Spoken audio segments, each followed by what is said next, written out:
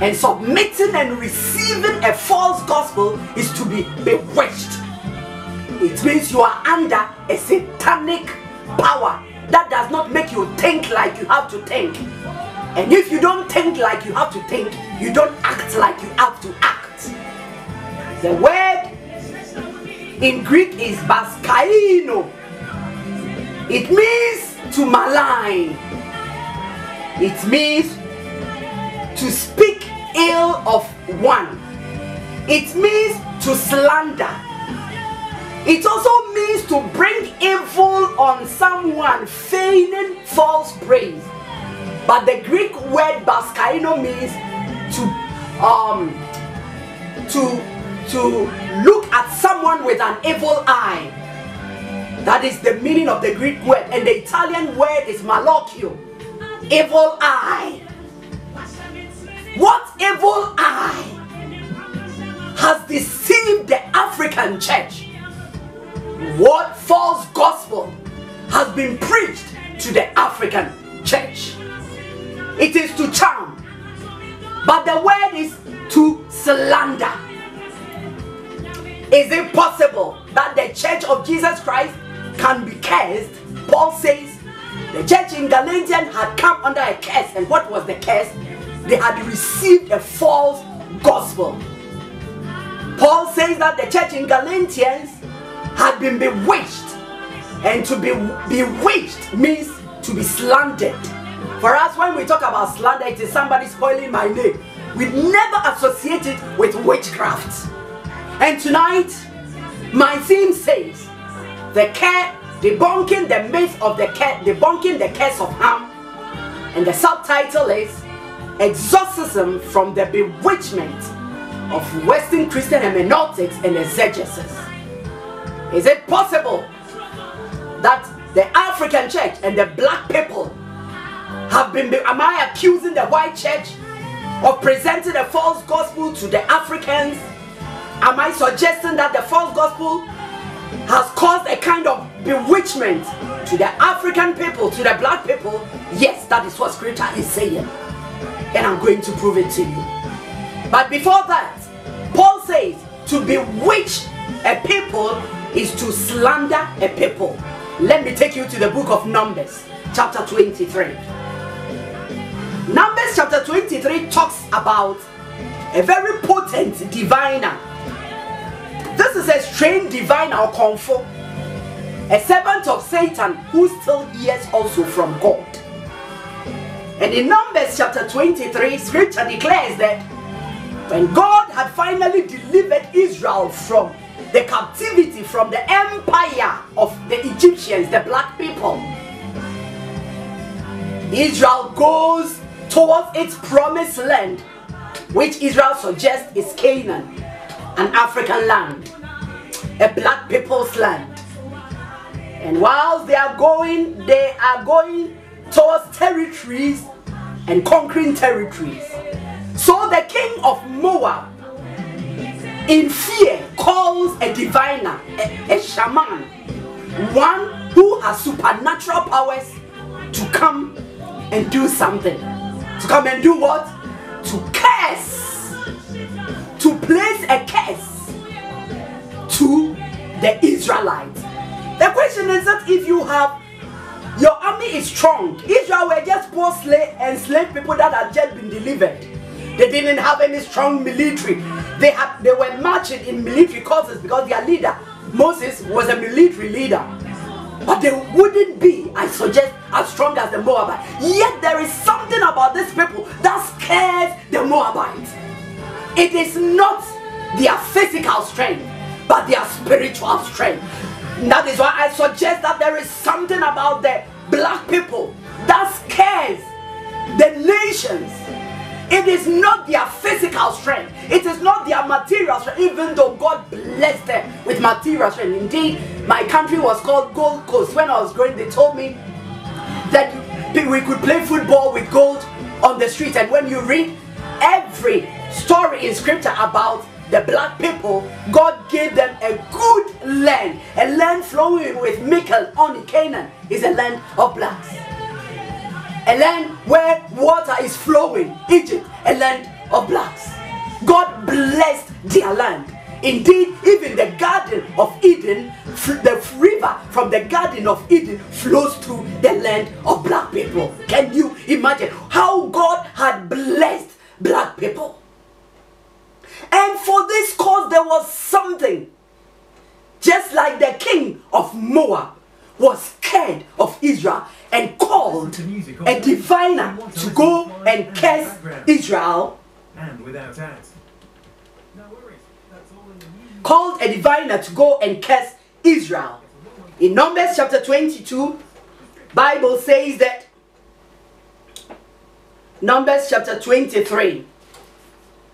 He says, um, and Balaam said to, ba uh, sorry, let me go to verse 22 so we can find exactly what he said. He said, and Moab was terrified. Numbers 22. Numbers chapter 22, verse 20, verse 3. And Moab was terrified at the people and full of dread. Did you see? It is fear that makes one want to subjugate another people.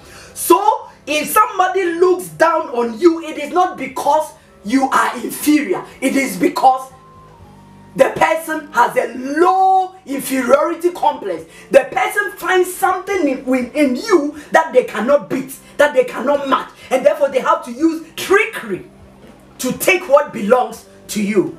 And so Balaam was this um, sorry, Moab was distressed and overcome with fear. And Moab consulted its elders, and they sent a messenger to a diviner, a fortune teller, but he's also a politician who uses his political demagogy to slander a people. And so indeed, they tell him in verse 6, Come, I beg you, curse this people. Put, place witchcraft, bewitch them. Curse these people means bewitch them. Curse these people, for they are too powerful for me. Maybe you never thought that is the reason for the subjugation of the black people. But scripture is telling it this is the reason. When a people is too powerful and another is not able to subdue them, what do they use? They put, they use a curse. He says, Perhaps I may be also able to defeat them and drive them out of the land. For I know that he whom you bless is blessed and whom you curse is cursed. So now they're saying that this politician, his mouth is like a weapon. Whoever he blesses will be blessed. Whoever he curses. Now, the word is what is the meaning of the curse? Here, the meaning of the curse means to do what? He said, it means to slander. Many of you never thought like it, Vero. You never thought that the, the skill of Balaam was not just using supernatural power.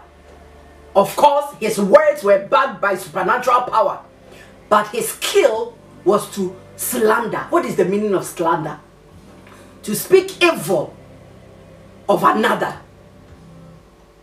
to the end of their destruction. What does scripture says? The tongue is like a weapon. It destroys. The tongue on the tongue is death and life. Slander kills. And Paul is telling us in the book of Galatians that there was a kind of teaching that was going on in the church in Galatians, teaching, gospel, preaching. And that preaching was witchcraft. When you hear that preaching, it's like Satan speaking to you. When you hear that preaching, it is like a diviner cursing you. But until somebody comes with a cloth on their, just a cloth with, um, how do you call it, a bro, brodia, how do you call it, with a shaman stick, and begins to, hey, hey, hey, you will never, or until like the king of Babylon, someone slays an animal, reads enchantment on it, you never see it as witchcraft. Witchcraft is what? Invoking supernatural power. Witchcraft operates through slander. Here is a people God has blessed. here is a nation God has blessed, and here is another nation saying, These people are too strong for me. So he uses supernatural weapon and he employs a politician who is a diviner to do what?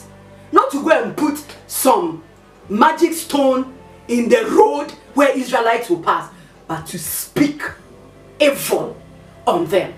Has this happened to the Africans? Yes. That is what I want us to look at before we would look at how we can exorcise ourselves. And I mean this kind of witchcraft, this kind of curse, this kind of false gospel was promoted by what? Western Christianity. Did you say amen? Somebody say amen. Somebody say amen. Oh my God. Hallelujah. Hallelujah. Oh, hallelujah. We bless you, Lord Jesus. Hallelujah. And so I'm taking you to the history of the curse of Ham. I asked a few people and they told me they've not heard anything like that. Have you ever heard the, of the curse of Cain? That when God set a seal on him, it was, it made him become black. And so he's the, this, all descend, all black people are his descendants. And so all black people are cursed. Haven't you heard it before? Have you heard about the curse of Ham? That because of the sin he committed, God cursed him and his descendants. And so all black people are cursed. And uh, for this cause, all black people are inferior. And all white people and all, uh, how do you call it, people of Israel are superior. Have you heard about the curse of Canaan also? That all black people come from Canaan, and since Noah cursed Canaan, all black people are cursed. Have you heard of it before? If you haven't, I'm taking you to the history. That is what we call false gospel. As a false gospel was being preached in Galatia, so from the Middle Ages, 14th, 15th century, all through